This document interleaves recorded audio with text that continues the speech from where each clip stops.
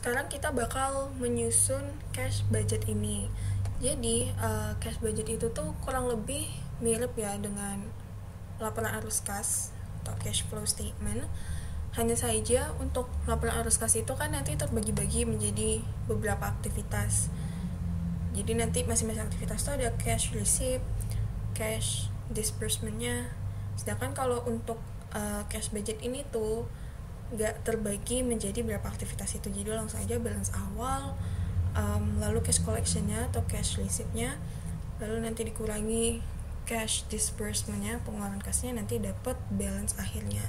Nah jadi untuk nyusun cash budget ini tuh kita harus bisa nentuin periodenya. Jadi misalnya yang akan kita bahas ini tuh kita bakal buat cash budget untuk satu bulan yaitu bulan Januari gitu.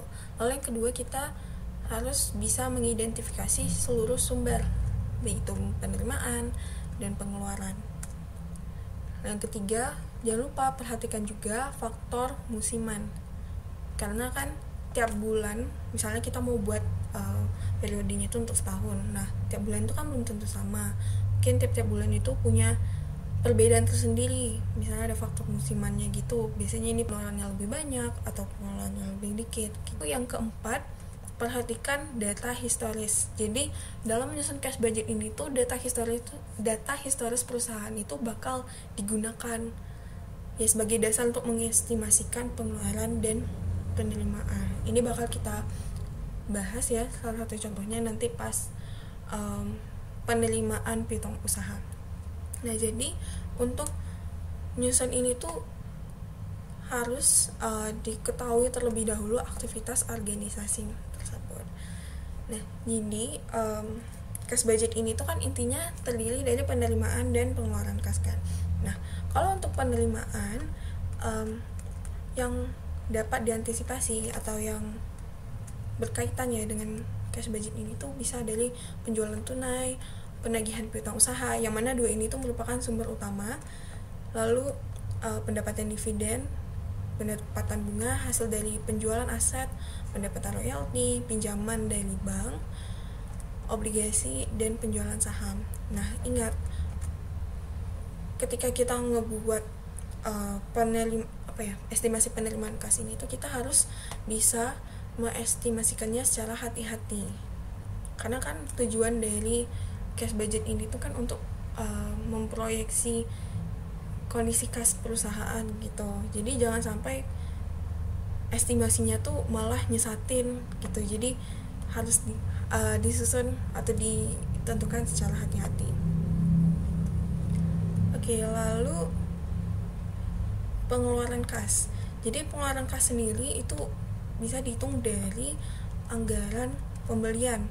Jadi uh, per, misalnya itu perencanaan pembelian bahan baku lalu anggaran tenaga kerja langsung. Jadi berhubungan dengan tenaga kerja upah yang akan dibayarkan. Lalu berbagi beban. Jadi tah apa itu beban produksi pemasaran administrasi lainnya. Dan ingat um, beban beban akrual itu nggak boleh dimasukkan ke cash budget ini. Nama namanya juga ini kan um, anggaran kas ya. Jadi yang tidak berhubungan dengan kas jadi non kas seperti depresiasi amortisasi itu harus dikeluarkan. Oke? Okay? lalu ini bisa juga pengeluaran kas itu dilihat dari pub, uh, anggaran publik dan peralatan. Jadi misalnya itu kebutuhan kas untuk akuisisi itu berapa. Lalu yang terakhir ini dari anggaran bendahara ini banyak nih. Jadi bisa mengetahui uh, jumlah dividen investasi saham pembayaran bunga dan pokok pinjaman lalu pajak penghasilan dan sumbangan sosial.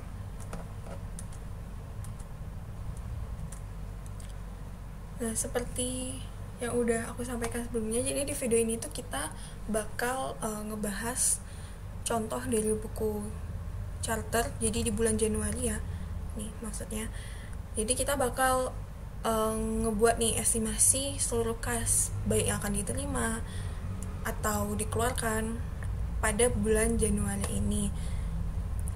Contohnya ini ada beberapa, mulai dari pelunasan piutang usaha, labor payroll, membeli bahan baku, ya gitu. Nanti akan kita bahas di video berikutnya ya.